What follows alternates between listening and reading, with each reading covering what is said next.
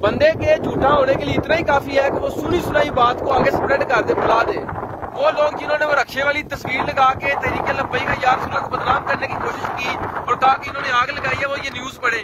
News में क्या लिखा हुआ कि ये बंदे ने रक्षे वाले ने खुद आग लगाई है इसको। तो जिन लोगों ने मुझे ये फ़ोटो भेजी है या इसको स्टेटस लगाया, वो डूब के मर जाए। वो सब डूब के मर जाए। तुम्हारे अंदर हया नाम की चीज़ नहीं है। जैसे कोई वाक्य ऐसा आता है पीएसएल हो, कोई मैच हो तो उस टाइम लोग एंबुलेंस नहीं रुकती है, उस टाइम ये मसला नहीं आता।